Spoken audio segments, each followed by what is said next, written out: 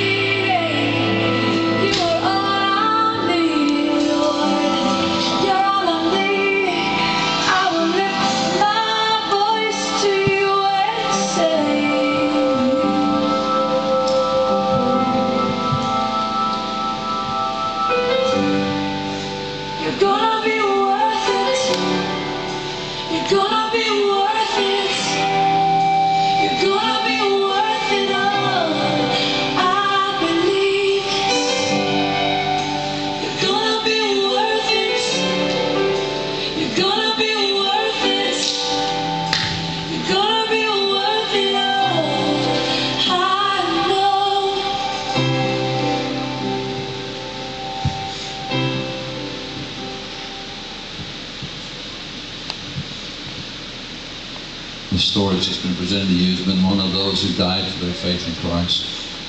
Got it.